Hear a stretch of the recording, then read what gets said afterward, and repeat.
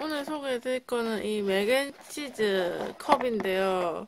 아까 영상을 제가 하나 찍었는데 또다시 영상을 제가 이렇게 찍는 이유가 아까 영상을 제가 잘못 찍었어요. 반대로 찍어가지고 영상이 지금 거꾸로 나와가지고 제가 영상을 이렇게 다시 찍게 되었습니다. 어쨌든 이제 오테이스트 쫄깃한 식감의 마카로니 와 치즈 American style인 간식이래. 맥주하고 크래커 뭐 샌드위치 속재료 샐러드와 함께 브런치 메뉴로 어쨌든 맛있는 레시피라고 돼 있죠. 마지막에는 이제 이거를 이제 뚜껑을 열고 이제 전부 다 이제 뚜껑, 예, 전체를 열고 이제 조리를 하시면 돼요. 아까 전에도 봤던 그거죠. 네, 영상을 하나 더 올려드릴게요. 이렇게 해가지고.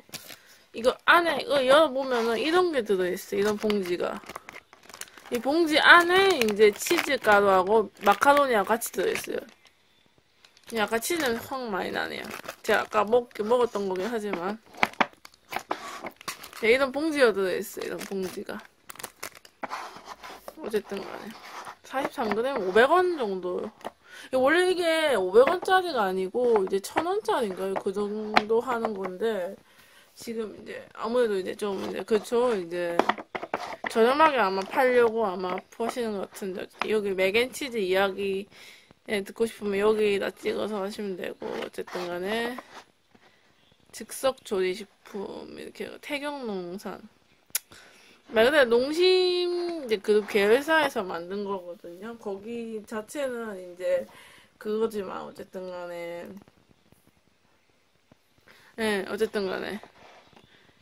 아무튼 이제 이렇게 해가지고 이제 그 여기 보면은 이제 마카로니 호주산.